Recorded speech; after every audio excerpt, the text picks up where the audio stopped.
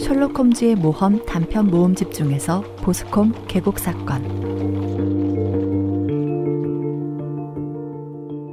어느 날 아침 아내와 식사를 하고 있는데 가정부가 전보를 가지고 왔다. 셜록 홈즈에게서 온 것이었다. 이틀 정도 시간 낼 수 있나? 잉글랜드 서부에서 보스콤 계곡의 비극적인 사건과 관련한 전보를 받았네. 함께 갈 수 있다면 기쁘겠어.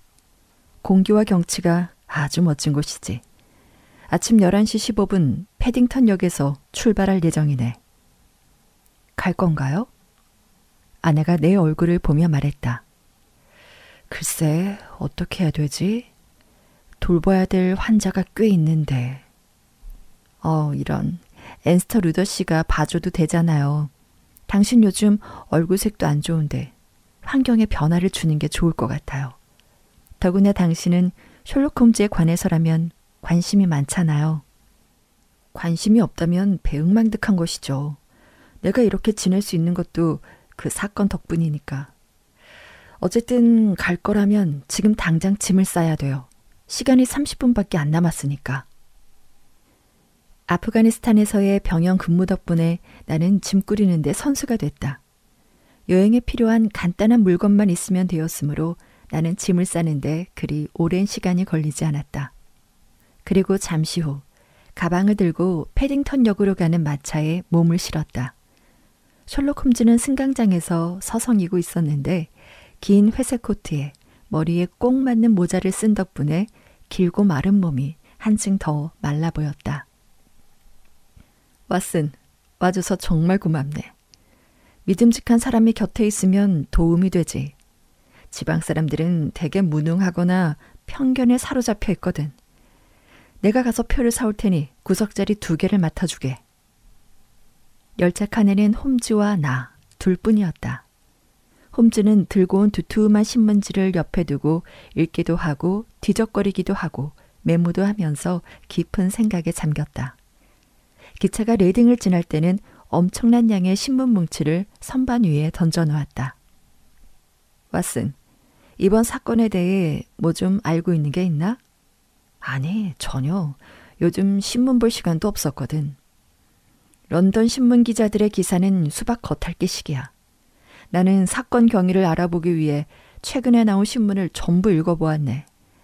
아무래도 이번 사건은 매우 단순하면서도 아주 어려운 사건인 것 같네. 뭔가 앞뒤가 안 맞는 것 같은데? 하지만 그렇게 말할 수밖에 없네. 이상하다는 사실이 하나의 단서가 되는 거지. 특징 없는 단순한 사건 범죄일수록 해결하기가 까다롭다네. 그런데 이 사건에서는 피해자의 아들을 가장 유력한 용의자로 지목하고 있네. 그렇다면 살인사건인가? 아마도. 현장을 조사하기 전까지 단정할 수 없지만 일단 내가 알고 있는 사실만 간단하게 얘기해 주겠네. 보스콤 계곡은 해리퍼드셔의 로드 마을에서 그리 멀지 않은 시골 마을이지. 이 지역의 최고의 지주는 존 터너인데 오스트레일리아에서 큰 돈을 벌어 몇 년 전에 돌아왔네. 터너는 자신의 농장 중에서 헤덜리 농장을 역시 오스트레일리아에서 살다 온 찰스 메카시에게 빌려줬어. 두 사람은 식민지 오스트레일리아에서부터 잘 아는 사이였으니 이곳에 정착해서도 가깝게 지내는 것은 뭐 이상한 일이 아니지. 터너가 더 부유해서 메카시는 그의 땅을 빌렸지만 예전과 다름없이 친구로 지낸 것 같아. 메카시에게는 18살의 아들이 있고 터너에게는 같은 나이의 딸이 있지만 두 사람 모두 아내는 없었네. 그들은 근처 영국인 가정과는 왕래 없이 조용히 살았던 것 같은데 메카시 부자는 운동을 좋아해서 동네 경마대회에도 자주 나가고 했던 것 같네. 메카시의 집에는 젊은 남자 한 명과 여자 한 명의 고용인이 있었고 터너의 집에는 대여섯 명의 고용인이 있었네. 여기까지가 내가 알고 있는 두 집안의 얘기야. 이제 사건에 대해 말해보겠네. 6월 3일, 지난주 월요일이었네. 메카시는 오후 3시경에 헤덜리에 있는 자신의 집에서 나와 보스콤 호수 쪽으로 걸어갔어. 이 호수는 보스콤 계곡을 흐르는 물이 모여서 생긴 작은 호수지. 메카 씨는 오전에 고용인을 데리고 로스에 갔다가 3시에 중요한 약속이 있다며 서둘러 가야 한다고 말했다더군. 그런데 약속 장소에 나갔다가 영영 돌아오지 못한 거지. 헤덜리 농장에서 보스콤 호수까지는 약 400m쯤 되는데 메카 씨가 지나가는 걸 본 사람이 둘 있네. 한 명은 이름 모를 할머니고 다른 한 명은 터너 씨의 사냥터 관리인 윌리엄 크로더라네. 둘 다 메카 씨가 혼자 걸어가는 걸 봤다고 증언했어. 그런데 윌리엄 크로더는 메카 씨를 보고 난 후 잠시 뒤에 아들 제임스 메카 씨가 총을 옆구리에 끼고 가는 걸 봤다고 덧붙였네. 그래서 그냥 아버지를 뒤따라간다고 대수롭지 않게 생각을 했는데 저녁에 사건 소식을 듣자 이 일이 생각이 났다는 거야. 사냥터 관리인 윌리엄 크로더 다음에 메카시 부자를 목격한 사람이 또 있네. 보스컴 호수는 사방에 깊은 숲에 둘러싸여 있고 가장자리에는 잡초와 갈대가 무성하지. 보스콤 계곡의 관리인 14살의 딸 페이션스 모러는 그 숲에서 꽃을 꺾고 있었는데 그때 호수 근처에서 메카시와 그의 아들이 심하게 말다툼을 하는 걸 보았다더군. 아버지가 큰 소리로 아들을 야단치자 아들은 아버지를 때릴 것 같은 기세로 손을 치켜 올렸다고 했어. 이것을 본 소녀는 겁이 나서 집으로 달려가 어머니에게 메카시와 그의 아들이 말다툼을 하고 있는데 큰 싸움이 날 것 같다고 말했다네. 그런데 소녀의 말이 끝나기도 전에 메카시의 아들 제임스 메카시가 달려와 아버지가 돌아가셨다고 도와달라고 했지. 아들은 몹시 흥분 상태였는데 총도 들고 있지 않았고 모자도 쓰지 않았으며 소매는 피로 젖어 있었다는군. 제임스의 말을 듣고 호수로 가보니 풀 위에 쓰러져 있는 시신이 발견됐지. 머리를 둔기로 여러 차례 얻어맞은 것처럼 보였고 시신에서 몇 걸음 떨어진 곳에는 제임스가 들고 있던 총이 있었는데 시신의 머리 상처는 그 총의 개머리판으로 얻어맞은 듯했네. 이런 사건의 정황으로 보아 아들은 곧 체포됐지. 그리고 다음 날인 화요일에 열린 재판에서 배심원단에 의해 고의적인 살인을 판결받고 수요일에는 로스에서 치안판사 법원에 회부됐고 다음번 순회 재판을 받기로 결정이 났네. 여기까지가 검시관과 직결 재판소에 제출된 사실들이야. 이런 끔찍한 폐륜이 있나. 사건의 정황만 봤을 때 아들이 범인이라면 말이지. 내가 말하자 홈즈는 깊은 생각에 잠긴 채 말했다. 사건의 상황 증거란 아주 미묘한 것일세. 그것이 어떤 사실을 분명하게 가리키는 것 같다가도 보는 관점을 살짝 바꾸면 아주 분명하게 전혀 다른 사실을 가리킬 수도 있거든. 하지만 이번 사건이 아들에게 불리하게 돌아가고 있는 건 분명한 사실이네. 실제로 그 아들이 범인일 수도 있고. 그런데 마을 사람들 중에는 아들의 무죄를 믿는 사람들도 있어. 그 중 한 사람이 터너의 외동딸 앨리스 터너라네. 자네가 쓴 진홍색 연구에 나오는 형사 레스트레이드 기억하나? 터너 양과 아들의 무죄를 믿는 마을 사람들이 그 청년을 위해서 레스트레이드 형사에게 사건을 의뢰했는데 형사 자신도 자신의 생각대로 해결하려고 했다가 문제가 생각보다 어려워 나에게 도움을 청해왔네. 그래서 두 명의 중년 신사가 아침 식사를 하고 조용히 휴식을 취하는 대신 시속 80km라는 속도로 서부를 향해 달려오게 된 거지. 그런데 사건의 정황이 명백한 만큼 홈즈 자네가 이번 사건으로 이름을 날리기는 쉽지가 않아 보이는군. 명백한 사실만큼 기만적인 것도 없네. 그리고 우리는 레스트레이드가 찾아내지 못한 다른 사실들을 찾아낼 수도 있지. 자네는 나를 잘 아니까 내가 레스트레이드에게는 불가능한, 아니, 그는 이해조차 할 수 없는 방법으로 그의 가설을 무너뜨릴 수도 있네. 예를 들어볼까? 자네 침실 오른쪽에 창문이 있다는 걸 알고 있지만 레스트레이드는 그 명백한 사실을 눈치챌 수 있을까? 어떻게 알았나? 이보게, 난 자네를 잘 알고 있네. 예를 들면 몸을 깨끗이 해야 하는 군대에서의 규율이 자네에겐 습관처럼 배어 있네. 자네는 매일 아침 면도를 하는데 특히 요즘 같은 계절엔 햇빛을 쬐면서 면도하지 않나? 그런데 얼굴 왼쪽으로 갈수록 면도 상태가 불량하고 턱 부근이 음, 완전 엉망이네. 다시 말하면 오른쪽에 비해서 왼쪽이 햇빛을 덜 받았던 거지. 만약 얼굴 양쪽에 햇빛이 골고루 비쳤다면 자네처럼 꼼꼼한 성격의 소유자가 그런 면도에 만족할 리가 없네. 이건 관찰과 추리의 아주 간단한 예시일 뿐이지. 이것이 내 장기라네. 나의 이런 관찰 능력이 이번 사건을 수사하는데 도움이 될 걸세. 그건 그렇고, 신문 과정에서 알게 된 내용 중에 생각해 볼 만한 문제가 한두 개 있네. 어떤 건데? 아들은 현장에서 체포되지 않았네. 해덜리 농장으로 돌아와 체포된 모양이야. 그런데 경찰이 체포하러 왔다고 하자 아들은 놀라는 기색도 없이 자신은 벌을 받아 마땅하다고 했다는군. 그래서 검시 배심원들은 아들이 범인이 아닐지도 모른다는 의심이 있었는데 그 말 한마디 때문에 아들의 유죄가 확정된 거라네. 자백을 한 건가? 나는 갑자기 외쳤다. 아니, 자백이 아니네. 아들은 그 다음에 자신은 죄가 없다고 주장했거든. 아들에게 불리한 상황에서 그렇게 말하다니 의심스러운 발언이긴 하네. 오히려 그 반대지. 그것은 마치 먹구름을 뚫고 나타난 한 줄기 빛처럼 생각되는 걸. 아무리 순진하다고 해도 상황이 자기에게 불리할 것을 모를 만큼 바보는 아닐 거야. 아들이 체포될 때 놀랐거나 화를 냈다면 오히려 의심스러웠겠지. 왜냐면 그런 상황에서 새삼스럽게 놀라거나 화가 나는 척을 했다면 별로 자연스럽지 않았을 테니까. 뭔가 꿍꿍이가 있었다면 그런 방법이 도움이 된다고 생각했을지도 모르지. 따라서 아들이 조용히 체포된 걸 보면 아들은 정말 죄가 없거나 어떤 상황에서도 흔들리지 않는 강한 멘탈을 가지고 있는 사람일 거야. 아들이 자신은 벌을 받아 마땅하다고 말했다고 했지. 그런 말은 아들 입장에서는 당연한 걸 거야.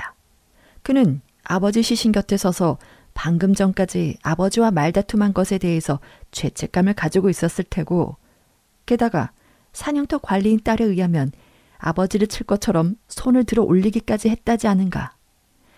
그런 상황을 생각해 보면 아들로서 후회의 감정이 들었겠지. 그가 범인이라서 그런 고백을 한 것이 아니고 아들로서 자연스러운 감정들일세. 나는 고개를 저었다. 많은 사람들이 사소한 증거로 교수형을 받는다네. 그렇지. 누명을 쓰고 교수형을 당한 사람도 한둘이 아니지. 이 사건에 대해서 아들은 뭐라고 얘기하고 있나? 아들의 무죄를 믿고 싶은 사람들에게 도움이 되는 얘기는 아니었네. 물론 그중 의미심장한 내용도 있긴 하지만 아들의 증언록이 여기 있으니 직접 읽어보게. 엄지는 신문 더미에서 해리퍼드셔의 지역 신문을 찾아 불쌍한 청년에 대해 기록된 기사를 손가락으로 가리켰다. 나는 객차 구석에 몸을 기댄 채 신중하게 읽기 시작했다. 아들 제임스 메카시가 불려나와 이렇게 증언했다. 증인. 저는 사흘 동안 집을 떠나 브리스텔에 가 있다가 지난 3일 월요일 집으로 돌아왔습니다. 집에 와보니 아버지는 안 계셨습니다. 가사 도우미 말로는 아버지는 마부 존과 함께 마차를 타고 로스에 가셨다고 했습니다. 잠시 후 정원에서 마차 소리가 나길래 창밖을 내다보니 아버지가 마차에서 내려 서둘러 밖으로 나가시는 모습이 보였습니다. 어디로 가시는지는 알 수 없었습니다. 그래서 저는 총을 들고 보스콤 호수 쪽으로 천천히 걸어갔습니다. 호수 건너편 토끼굴에 가볼 생각이었습니다. 도중에 사냥터 관리인 윌리엄 크로더를 만났고요. 그분은 제가 아버지를 따라가는 줄 알았다고. 그건 착각입니다. 제가 가는 길 앞에 아버지가 계시다는 건 몰랐습니다. 그런데 호수 100m 근처까지 갔을 때 쿠이 하는 소리가 들렸습니다. 그건 아버지와 제가 서로를 부르는 신호였습니다. 그래서 얼른 달려가 보니 아버지가 호수 옆에 서 계시는 게 보였습니다. 아버지는 저를 보더니 여기 왜 왔냐고 매우 놀라면서 화를 내셨습니다. 그리고 여기 왜 왔냐고 물으셨죠. 그렇게 이야기를 하다가 언성을 높이게 되었습니다. 급기야 주먹질이라도 할 것처럼 분위기가 험악해졌죠. 아버진 평소에도 다혈질적이라 저는 아버지를 말릴 수 없다고 생각하고 돌아서서 집으로 향했습니다. 그런데 150m도 못 갔을 때 뒤에서 끔찍한 비명소리가 들려 저는 다시 그 자리로 뛰어갔습니다. 아버지는 머리에 심한 상처를 입은 채 쓰러져 계셨어요. 저는 총을 내던지고 아버지를 끌어안았지만 곧 숨을 거두시고 말았습니다. 한동안 아버지를 안고 있다가 도움을 청하기 위해 가장 가까운 터너시의 별장으로 뛰어갔습니다. 제가 아버지의 비명 소리를 듣고 뛰어갔을 때 아버지 주위에는 아무도 없었기 때문에 어떻게 그런 상처를 입으셨는지는 알 길이 없습니다. 아버지는 평소에 무뚝뚝하고 차가운 분이셔서 사람들이 좋아하지는 않았지만 그렇다고 앙심을 품을 만한 상대도 없었습니다. 제가 알고 있는 사실은 여기까지입니다. 검시관. 증인의 아버지가 돌아가시기 전에 당신에게 전한 말은 없습니까? 증인. 뭐라고 두어 마디 하셨지만 알아들을 수 없었습니다. 다만 무슨 쥐에 대해 말씀하신 것 같은데, 검시관. 그 말을 뭐라고 이해하셨습니까? 증인. 글쎄요. 저는 아버지가 의식이 혼미하여 그냥 하신 얘기라 생각합니다. 검시관. 당신은 아버지와 왜 다투었습니까? 증인. 대답하고 싶지 않습니다. 검시관. 대답하는 게 좋을 겁니다. 증인. 어떤 일이 있어도 말할 수 없습니다. 하지만 분명히 말씀드릴 수 있는 것은 이번 사건과는 아무 관련이 없는 얘기입니다. 검시관. 관계가 있는지 없는지는 법정에서 판정할 문제입니다. 증인이 대답을 거부한다면 앞으로의 재판 과정에서 증인에게 매우 불리해질 것입니다. 증인. 그래도 대답할 수 없습니다. 검시관. 쿠이라고 부르는 것은 아버지와 사용하는 신호였다고요? 증인. 그렇습니다. 검시관. 그런데 아버지가 증인을 보기도 전에 왜 그 신호를 불렀을까요? 아버지는 증인이 브리스틀에서 돌아온 것도 모르고 있었을 텐데요. 증인, 상당히 동요하며 잘 모르겠습니다. 배심원, 비명을 듣고 달려가 아버지를 발견했을 때 이상한 것을 발견하지는 못했나요? 증인, 모르겠습니다. 검시관, 무슨 의미죠? 증인, 그곳으로 달려갈 때 저는 제정신이 아니었습니다. 머릿속엔 아버지 생각뿐이었으니까요. 하지만 달려갈 때 왼쪽에 뭔가 떨어져 있는 것 같은 느낌이었습니다. 회색이었는데 외투나 숄이었던 것 같아요. 나중에 주위를 둘러봤을 때 그것은 사라지고 없었습니다. 검시관, 도움을 청하러 가기 전에 사라졌다는 것입니까? 증인, 네. 검시관, 그게 뭔지 자세히 말씀해 주시겠습니까? 증인. 그냥 뭔가가 떨어져 있다는 느낌만 있었습니다. 검시관. 그게 시신으로부터 얼마나 떨어져 있었나요? 증인. 10미터쯤요. 검시관. 숲에서는 얼마나 떨어져 있었습니까? 증인. 비슷한 거리입니다. 검시관. 고작 증인과 10미터 떨어진 거리에서 사라진 거로군요. 증인. 네, 하지만 저는 등을 돌리고 있었어요. 이것으로 증인에 대한 조사는 끝났다. 음, 그렇군. 신문에서 눈을 떼지 않고 내가 말했다. 음, 검시관은 청년에게 불리한 질문으로 끝냈군. 아버지가 아들을 보기도 전에 신호를 보냈다는 것과 왜 말다툼을 했는지 밝히지 않은 점, 그리고 아버지가 죽기 직전에 내뱉은 말이 쥐라는 이해하기 힘든 증언 등 이 모든 것들이 아들에게는 매우 불리한 게 사실이로군. 험즈는 혼자 조용히 웃더니 자석에 몸을 길게 기대며 말했다. 왓슨, 자네와 검시관은 여러 가지로 청년에게 유리한 진술을 피해가느라 고생을 하는군. 결국 어떤 때는 청년의 상상력이 풍부하다고 탓하고 어떤 때는 상상력이 모자란다고 탓을 하고 있으니 말이야. 청년이 배심원들의 동정을 살만한 말다툼의 원인을 말하지 못한 것은 상상력이 부족한 것이고 아버지가 죽기 전 쥐라고 말했다거나 근처에 있던 옷이 사라져 버렸다거나 하는 것들은 상상력이 지나치다는 것이지. 하지만 그렇지 않네. 나는 청년이 한 모든 말이 진실이라는 관점에서 이 문제를 접근할 생각이네. 이 가설이 과연 어떤 결과를 가져다 줄까?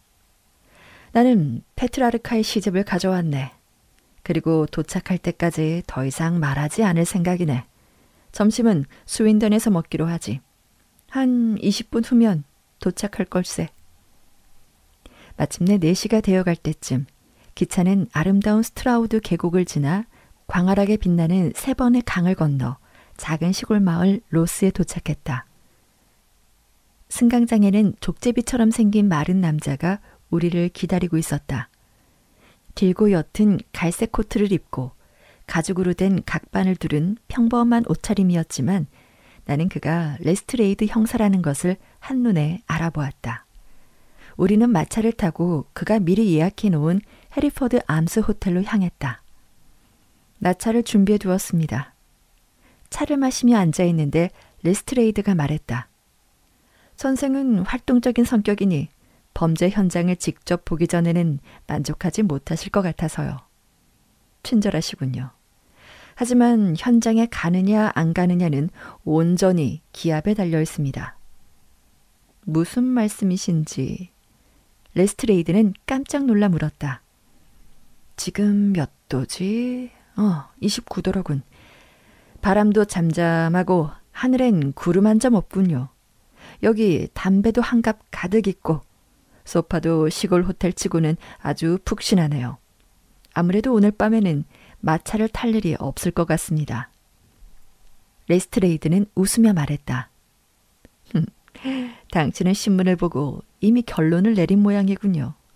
하긴 이번 사건은 워낙 단순하니까 조사를 하면 할수록 명백해질 거요.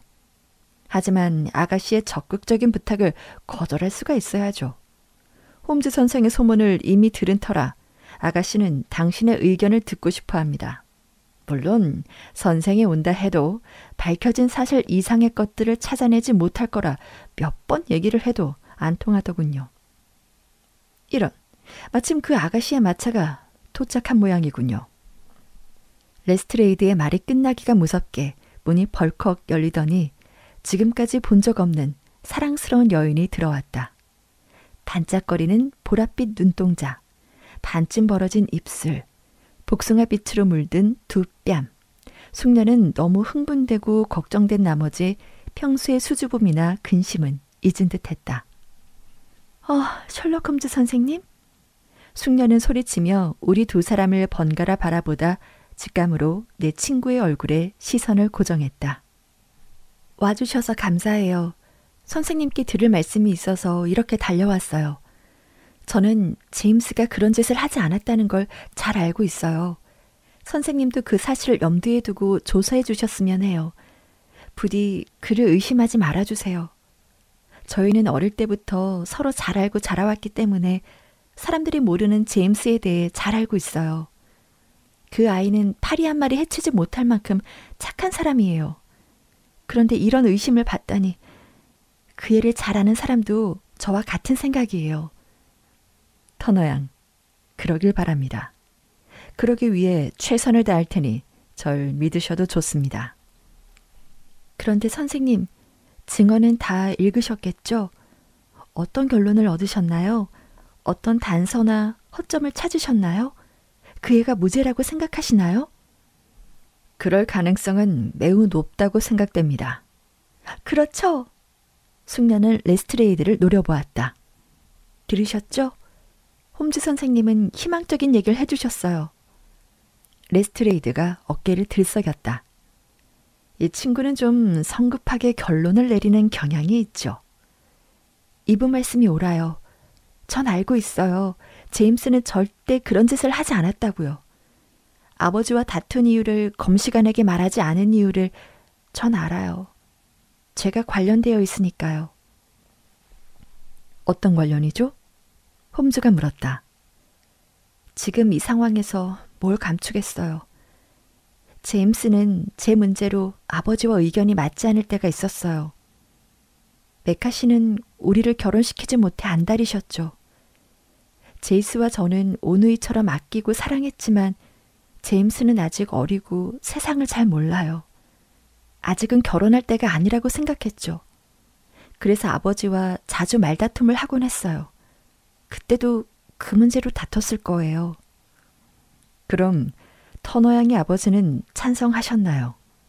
홈즈가 물었다. 아니요. 아버지도 반대하셨어요. 메카시 말고는 아무도 그 문제를 바라지 않았거든요. 홈즈가 평소처럼 날카로운 시선으로 숙녀를 바라보자 터너 양의 얼굴이 금세 빨갛게 달아올랐다. 홈즈가 말했다. 말씀해 주셔서 감사합니다. 내일 아버님을 찾아뵈도 괜찮을까요? 의사가 허락하지 않을 거예요. 의사요? 네. 아직 못 들으셨나요? 아버지는 몇 년간 건강이 좋지 않으셨는데 이번 일로 충격을 받으셔서 완전히 몸져 누우셨어요. 웰로스 박사님 말로는 신경계가 아주 약해지셨대요. 빅토리아에 있을 때 아버지와 알고 지낸 분들 중 메카시 씨만 살아계셨거든요. 아, 빅토리아 주에서 말이죠. 이건 아주 중요한 단서군요. 네, 광산이었어요. 그렇군요. 금광이었겠죠. 음, 터너 씨는 거기서 돈을 모았고요. 네, 맞아요. 고맙습니다, 터너 양. 당신의 얘기가 아주 큰 도움이 됐습니다. 내일 새로운 소식을 알게 되면 제게도 가르쳐 주세요. 제임스를 찾아가실 거죠? 그럼 선생님, 그 사람을 만나거든 저만은 그 사람의 무죄를 믿고 있다고 꼭 전해주세요. 그러겠습니다, 터너 양. 이제 가봐야겠어요. 아버지가 많이 편찮으시니까요. 제가 옆에 없으면 섭섭해 하시거든요. 그럼 안녕히 계세요. 신의 가오가 선생님과 함께 하길. 터너 양은 방을 들어올 때처럼 뛰어나갔고 뒤이어 덜거덕거리는 마차 소리가 들려왔다. 홈즈 선생, 부끄럽군요. 레스트레이드가 침묵을 깨고 말했다. 나중에 실망시킬 것이 뻔한데 왜 그런 희망적인 말씀을 하셨습니까? 너무 잔혹하군요. 나는 제임스 메카시의 혐의를 벗어날 수 있게 해줄 수 있다고 생각합니다. 그 친구를 만나고 싶은데 면회 허가증을 가지고 있습니까? 예, 하지만 선생님과 저만 만날 수 있습니다. 그럼 아까 오늘은 외출하지 않겠다는 말은 취소해야겠군요. 지금부터 해리퍼드행 기차를 타면 제임스를 만날 수 있습니까? 시간은 충분합니다. 그러면 이렇게 합시다. 왓슨, 혼자 심심하겠지만 두어 시간만 다녀오겠네. 나는 여기까지 두 사람을 배웅했다. 그리고 작은 마을을 돌아다니다가 다시 호텔방으로 돌아와 소파에 누웠다. 노란 표지의 소설을 집어들고 읽어보려 했지만 지금 우리가 조사하고 있는 사건에 비하면 소설의 줄거리는 형편없었다.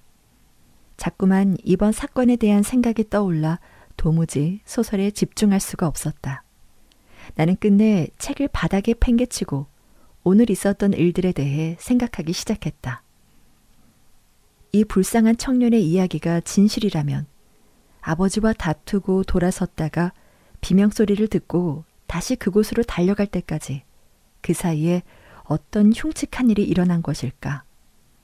시신의 상처를 보면 의사로서 뭔가 알 수 있는 게 없을까? 나는 배를 눌러 지역신문을 갖다 달라고 했다. 거기엔 검시 결과 보고서가 자세히 쓰여 있었다.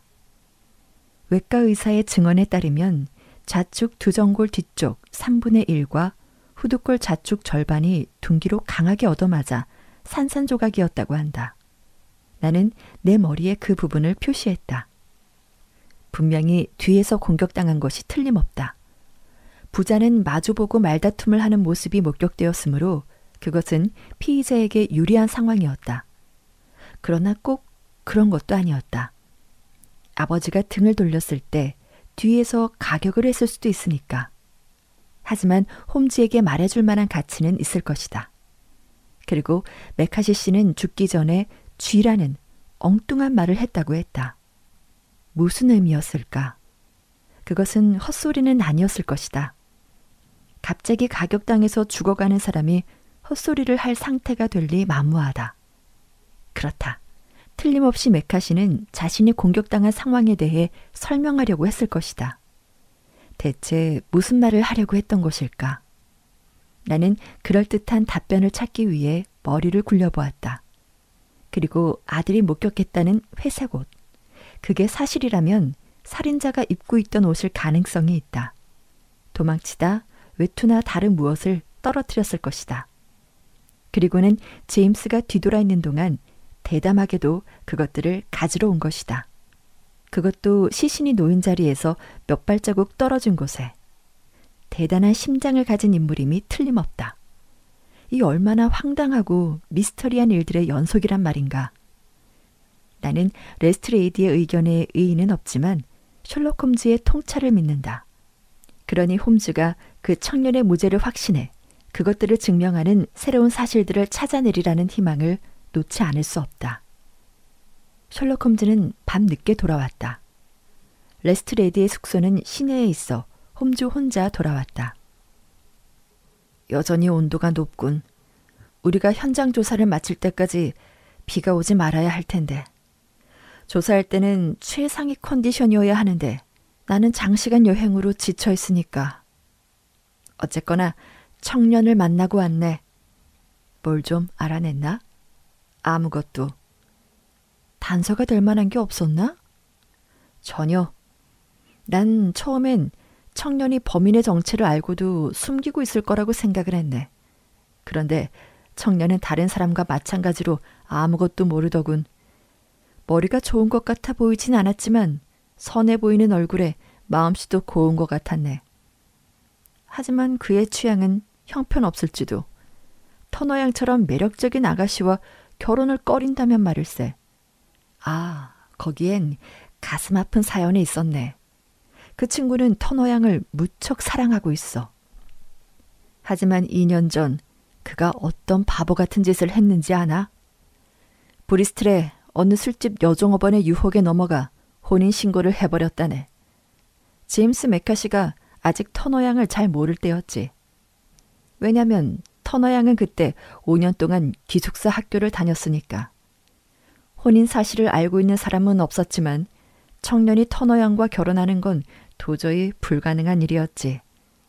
그런데 아버지가 터너 양과 결혼하지 않는다고 화를 내면 아들 입장에서는 얼마나 미치고 환장할 노릇이었겠는가. 그날 호수 앞에서 아버지가 어서 터너 양에게 청혼을 하라고 했을 때 말다툼을 벌이고 주먹을 휘둔 것도 바로 그런 이유 때문이었네. 하지만 무서운 아버지에게 사실을 말하면 당장 집에서 쫓겨나 살 길이 막막했지. 그래서 브리스틀에 사흘간 다녀온 것도 그 여종업원 아내를 만나기 위해서였네. 물론 아버지는 아들이 어디에 있는지 전혀 몰랐다네. 아주 중요한 부분이 이 대목에 있으니 잘 기억을 해두게. 그런데 불행 중 다행스럽게도 그 여종업원이 신문을 보고 청년이 교수형을 당할지도 모른다는 사실을 알고 청년을 뻥 차버렸네. 자기는 이미 버뮤다 조선소에 남편이 있다는 편지를 보내온 거야. 그러니 제임스와는 아무 관계도 아니라고. 그래서 청년은 그 여자에게서 벗어날 수 있었네. 비록 공경에 처해 있지만 그 소식을 듣고 조금이라도 위로를 받았을 걸세. 만약 제임스가 무죄라면 대체 누가 범인이란 말인가? 글쎄, 누굴까? 이 두 가지에 주목해 주길 바라네. 하나는 피살자가 호수 근처에서 누군가와 만나기로 약속을 했는데 그 누군가가 아들은 아니라는 거지. 왜냐면 멀리 브리스틀에 가 있고 아버지는 아들이 언제 돌아올지 모르고 있었으니까. 또 하나는 피살자가 아들이 돌아왔다는 것을 알기도 전에 쿠이 하고 소리친 것이지. 이 두 가지는 사건을 해결하는 핵심이네. 자, 이제 조지 메러디스에 대해서 이야기를 해볼까. 사소한 문제들은 내일까지 미뤄두고 말이야. 홈즈의 예상대로 비는 오지 않았다. 구름 한 점 없이 맑은 아침이었다. 9시에 레스트레이드가 호텔로 왔다. 우리는 그가 타고 온 마차를 타고 헤더리 농장과 보스콤 호수로 출발했다. 오늘 아침에 심각한 소식을 들었소. 레스트레이드가 말했다. 터너 양의 아버지가 병세가 더욱 심해져서 더 이상 회복될 가능성이 없다는군요. 나이가 꽤 있으시죠? 홈즈가 물었다. 예순 살쯤 됐소. 외국 생활을 오래 하는 바람에 한동안 몸 상태가 좋지 않았다고 하더군요. 거기에 이번 사건으로 큰 충격을 받은 모양이요. 터너와 메카시는 오래된 친구 사이였고 메카시에게 농장을 거저 임대해 줬다지. 그렇군요. 그것 참 재밌습니다. 홈즈가 말했다. 그렇죠. 그 외에도 많은 것들을 솔솔하게 도와줬다고 하더군요. 이 마을 사람들 모두 터너가 메카시에게 얼마나 친절한지 얘기하곤 했다니까요. 그렇군요. 그런데 좀 이상하지 않습니까? 자기 재산이라곤 얼마 없는 메카시가 자기 아들을 왜 터너 양과 결혼하라고 강요했을까요? 터너 양은 상속자 아닙니까? 그런데 메카시는 자기 아들이 청혼만 하면 마치 다른 것들은 전부 자기 뜻대로 될 것처럼 확신하는 듯한 말도 했고요. 더구나 터너 양의 말을 들어보면 자기 아버지는 이 결혼에 반대했다니 더 이상하지 않습니까? 여기서 뭔가 추리가 가능하지 않겠어요? 그래서 뭡니까? 레스트레이드는 나를 향해 윙크하며 홈즈에게 말했다. 홈즈 선생, 드러난 증거만으로도 사실을 밝히기에 저는 벅찹니다. 맞습니다. 사실을 다루는 일은 어려운 일이죠. 어쨌든 나는 당신이 모르는 사실 하나를 알아냈소. 그게 뭡니까? 메카시 노인이 아들에게 살해당했다는 사실입니다. 이 사실을 부정하는 것은 희미한 달빛에 지나지 않죠. 하지만 달빛이라도 안개보다는 밝지 않습니까? 홈즈가 웃으며 말했다. 그런데 왼쪽에 보이는 것이 헤더리 농장이겠군요. 그렇소. 슬레이트 지붕의 2층 건물은 살기 편해 보이는 건물이었다. 회색 벽에는 크고 노란 이끼가 피어 있었다. 하지만 커튼이 내려져 있고 굴뚝에서는 연기가 나지 않아서 어딘가 쓸쓸해 보였으며 무서운 사건의 공포가 아직도 그 건물을 휘감은 듯했다. 우리는 현관문을 두드렸다. 가사 도우미는 홈즈의 요청에 따라 주인이 마지막으로 신고 있던 부츠와 그때 신었던 건 아니지만 아들의 부츠를 보여주었다. 홈즈는 두 구두의 치수를 읽고 여덟 군데를 꼼꼼히 체크하고 안뜰을 보여달라고 했다. 우리는 거기서부터 보스콤 호수로 가는 구불구불한 길을 따라 걸었다. 셜록 홈즈는 이렇게 단서를 찾을 때면 마치 딴 사람이 된 듯했다. 홈즈를 베이커가의 사색적이고 조용한 이론가로 알고 있던 사람이라면 그를 알아보지 못할 정도였다. 그는 흥분해서 얼굴이 붉게 달아올랐다. 눈썹을 치켜 올려 이마에는 두 줄의 굵은 주름이 잡혔고 그 밑에는 서늘한 눈빛이 맴돌았다. 고개를 숙이고 어깨를 활처럼 굽히고 입술은 굳게 담은 채 긴 목에는 힘줄이 붉어져 핏대가 섰다. 콧구멍은 사냥감을 찾는 동물적인 직감으로 벌렁거렸고 마음은 오로지 눈앞의 문제에 집중해 어떤 질문을 하거나 말을 걸어도 뒷등으로 듣거나 짤막하게 짜증 섞인 대답을 내뱉을 뿐이었다. 홈즈는 말없이 빠른 걸음으로 풀밭 사이 숲길을 지나 보스컴 호수로 향했다. 그 일대는 습한 늪지였다. 좁은 길과 양쪽으로 난 풀밭에는 수많은 사람들의 발자국 흔적이 남아 있었다. 홈즈는 빠른 걸음으로 걸어가서 여기저기서 걸음을 멈추었다. 레스트레이드와 나는 홈즈를 따라 걸었다. 형사는 홈즈가 하는 일에 관심이 없었고 코웃음을 쳤지만 나는 친구의 일거수일투족을 주시했다. 나는 그의 행동 하나하나에는 확실한 목적이 있을 거라 확신했기 때문이다. 갈대로 뒤덮인 보스코 모스는 지름 50m 정도의 조그만 웅덩이로 헤더리 농장과 터너시의 사유지에 자리하고 있었다. 호수 저편의 숲 위로 솟아있는 뾰족탑은 대지주의 저택을 잇는 곳을 가리켰다. 호수에서 해더리 숲 쪽으로는 풀들이 빽빽하게 자라 있었고 20폭 정도의 축축한 풀밭이 조성되어 있었다. 레스트레이드가 시신이 발견된 장소를 가리켰다. 바닥이 축축해서 피살자가 쓰러져 있던 흔적이 그대로 남아 있었다.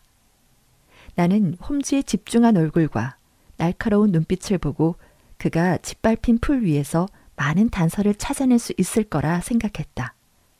홈즈는 냄새를 찾아다니는 개처럼 뛰어다니다가 레스트레이드를 향해 물었다. 당신은 왜 연못에 들어갔습니까? 갈퀴로 긁어봤소. 흉기나 다른 단서가 될 만한 것을 뭐 찾을 수 있을까 해서요. 그런데 그걸 어떻게 알았소? 이런. 지금은 그런 걸 설명할 시간이 없어. 안쪽으로 휜 당신의 발자국이 사방에 널려 있어. 두더지라도 그걸 찾을 수 있을 거요. 그런데 그 발자국이 숲으로 사라졌어요. 사람들이 이곳을 짓밟기 전에 왔다면 일이 좀 단순해졌을까. 아, 여긴 별장 관리인가 온 일행이 서 있던 자리로군요. 여섯 혹은 여덟 개의 발자국이 시신 주위를 전부 짓밟아 놓았어. 하지만 발자국이 세 방향으로 갈라져 있군. 우비를 입고 있던 험즈는 돋보기를 꺼내 들고 좀 더 자세히 보기 위해 바닥에 엎드렸다. 그리고 한동안 혼잣말을 쉼없이 내뱉었다. 이건 제임스의 발자국이야. 그 친구는 두 번 왔었군. 그런데 한 번은 달려왔네. 발자국이 깊이 파였는데도 발 뒤꿈치는 거의 보이지 않아. 이건 그 친구의 말이 진실이라는 걸 증명하지. 제임스는 아버지가 쓰러져 있는 걸 보고 뛰어온 게 맞아. 그리고 아버지가 왔다 갔다 한 발자국도 여기 있고. 그런데, 어라, 이건 뭐지? 이건 아들이 아버지의 말을 듣고 있는 동안 총 개머리판을 딛고 서 있던 자리로군. 그렇다면, 이건, 아, 발꿈치를 들고 걸었군. 까치발을 하고 있었어. 까치발을. 아주 특이한 부축은 왔다가 갔다가 다시 왔어. 물론 떨어뜨린 옷을 가지러 왔겠지. 그런데 이건 어디에서 온 걸까? 홈즈는 발자국을 잃어버렸다가 되찾곤 하며 부산하게 오갔다. 마침내 우리는 숲 가장자리에 커다란 너두 밤나무 그늘 밑에 도착했다. 홈즈는 발자국을 따라 나무 뒤편으로 돌아가더니 만족스러운 듯 작게 외치곤 다시 땅바닥에 엎드렸다. 그리고 거기서 오랜 시간 머물며 나뭇잎과 나뭇가지와 쓰레기로 보이는 것들을 주워 모아 봉투에 집어넣었다. 그리고 돋보기로 바닥뿐만 아니라 손이 닿는 곳이라면 나무 껍질까지 살펴보았다. 이끼 사이에 낀 돌멩이 하나까지도 조심스럽게 살펴본 다음 집어들었다. 그리고 숲속의 좁은 길을 따라 큰 길로 나왔는데 거기서 발자국은 사라져 버렸다. 아주 재밌는 사건이로군. 홈즈는 평소 상태로 되돌아와 말했다. 오른쪽에 있는 저 회색 집이 문제의 별장이겠죠. 들어가서 모런 양과 얘기를 나눠봐야겠어요. 점심은 그 이후에 들죠. 두 분은 마차로 돌아가 계세요. 나도 곧 뒤따라 가겠습니다. 10분쯤 뒤에 우리는 다시 마차를 타고 로스로 돌아왔다. 그때까지도 홈즈는 숲에서 주운 돌을 가지고 있었다. 그가 그 돌을 내밀며 이렇게 말했다.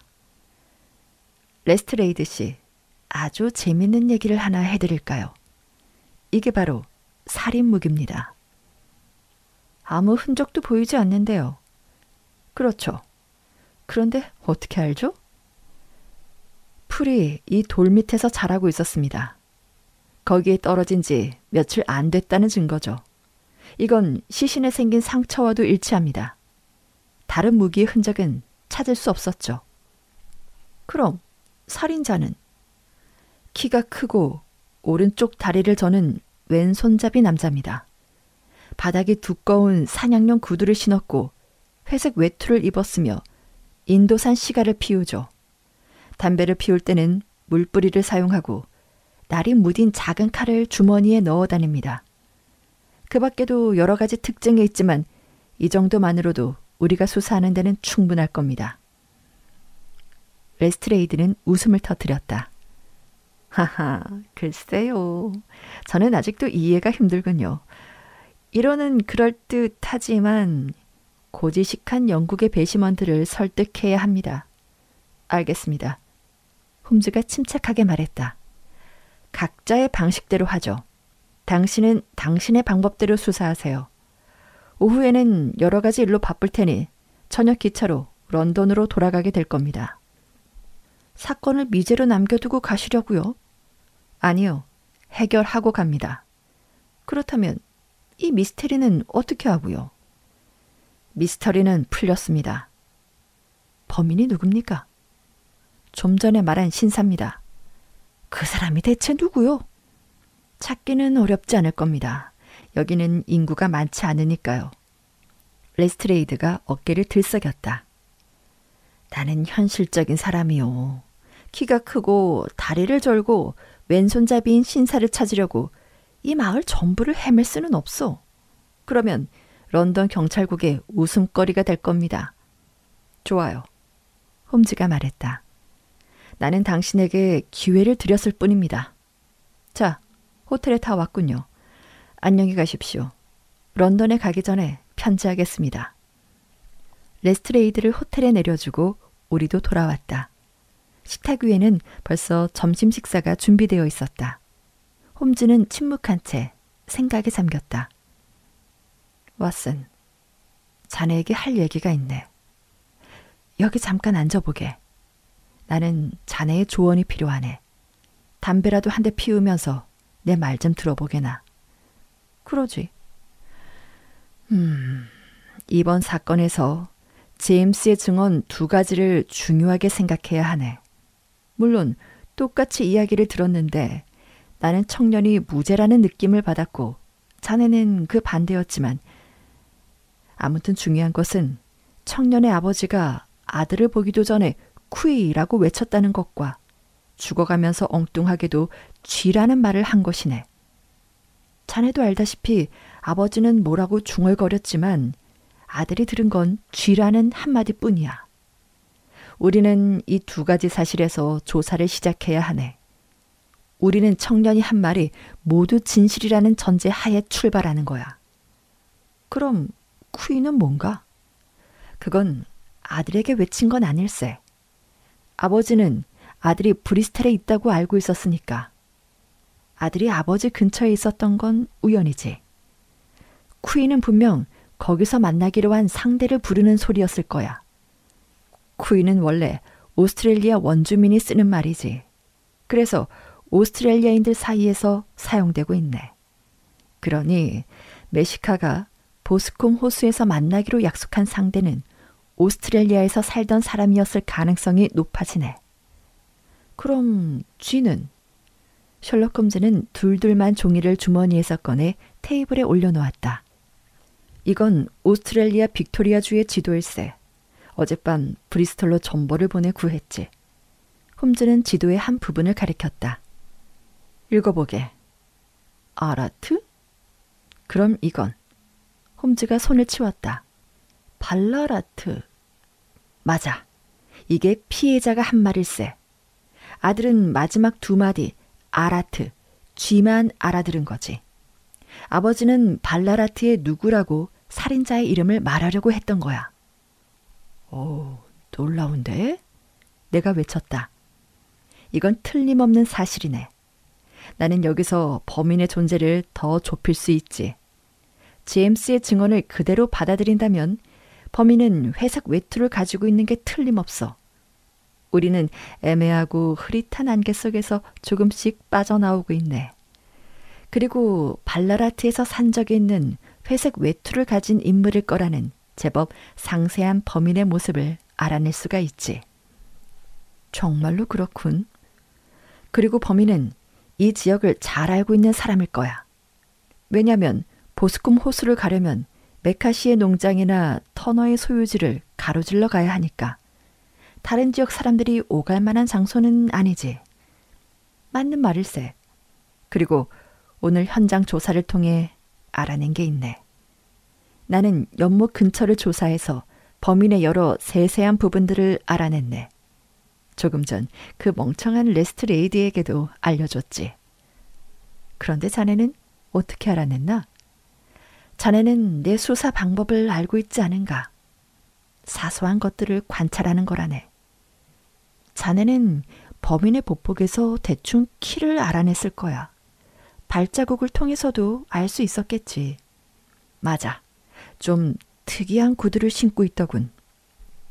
그런데 범인이 발을 전다는 건 어떻게 알았나? 오른쪽 발자국이 왼쪽 발자국보다 조금 흐렸네. 오른쪽 발에 체중이 덜 실린다는 거지. 그럼 왼손잡이라는 건? 검시에서 외과 의사가 보고한 피해자의 상처를 보고 깊은 인상을 받았네. 범인은 메카시를 바로 뒤에서 가격했지. 그런데 가격한 부분이 왼쪽이었어. 왼손잡이가 아니라면 설명할 방법이 있는가? 그 사람은 아버지와 아들이 이야기를 하는 동안 나무 뒤에 숨어 있었네. 담뱃재가 있는 것으로 보아 거기서 담배를 피웠겠지. 그리고 담배에 대한 나의 전문 지식으로 그 담배가 인도산 시가임을 알 수 있었네. 자네도 알고 있듯이 나는 담뱃재를 연구했고 파이프, 시가, 관련 등 다양한 논문을 발표한 적이 있네. 담뱃재를 발견하고는 주위를 살펴보던 중에 범인이 버린 담배꽁초도 찾았지. 그건 네덜란드 노트르담에서 만든 인도산 시가였네. 파이프를 사용했다는 건? 담배의 끝을 보니 사람의 입이 닿은 적이 없었어. 파이프로 피운 거지. 끝을 자르긴 했는데 깨끗하지 않았네. 그래서 무딘칼을 사용했을 거라 생각했네.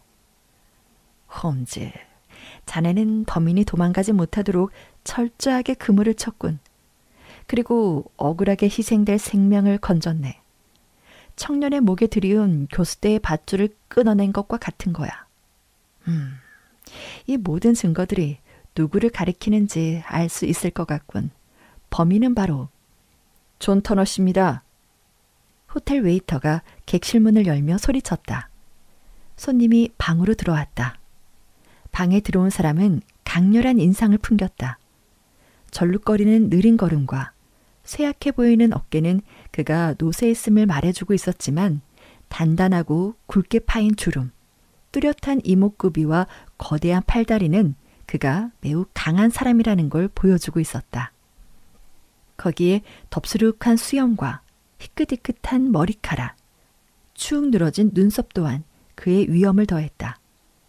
그러나 혈색 없는 얼굴과 입술과 콧구멍은 푸른빛을 띠고 있었다. 그가 불치병에 시달리고 있음을 한눈에 알아볼 수 있었다. 이리 앉으시죠. 홈즈가 조용히 말했다. 제 편지를 읽어보셨습니까? 그렇소. 관리인이 전해줬소. 괜한 소문을 만들고 싶지 않아 사람들의 눈을 피해 여기서 만나고 싶다고 적혀 있더군. 제가 대구로 가면 사람들이 떠들어댈 테니까요. 그런데 무슨 일로 나를 보자고 한 거요?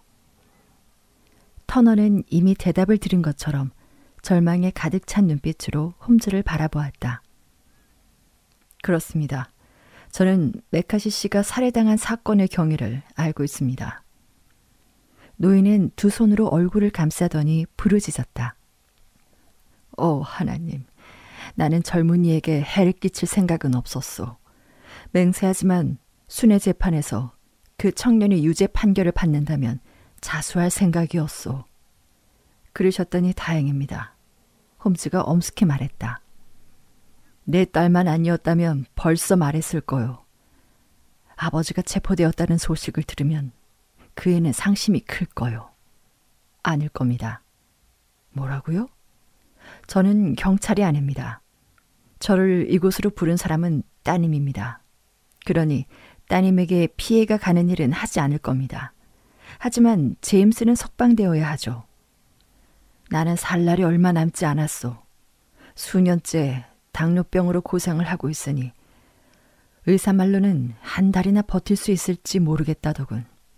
하지만 죽을 거라면 감옥이 아닌 내 집에서 죽고 싶소. 홈즈는 자리에서 일어나 탁자 앞에 앉더니 펜과 종이를 가져와 올려놓았다. 사실 그대로를 말씀해 주십시오. 제가 받아 적겠습니다. 그리고 나중에 서명만 하시면 됩니다. 증언은 여기 왓슨에게 부탁하겠습니다.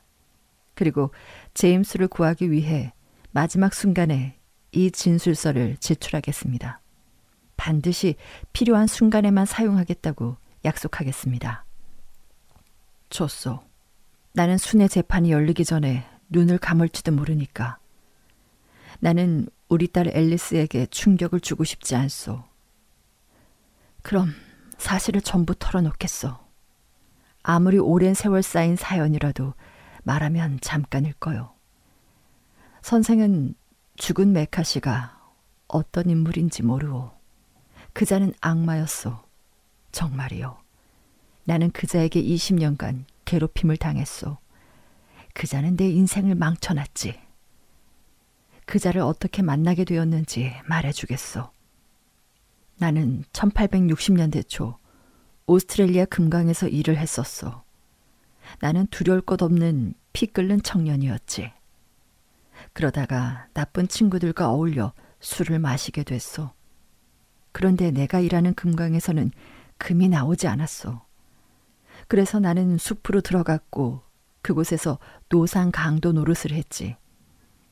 우리 일당은 여섯이었는데 거칠 것 없이 자유롭게 살았소. 가끔씩 목장을 습격하기도 하고 금강으로 가는 마차를 습격하기도 했지.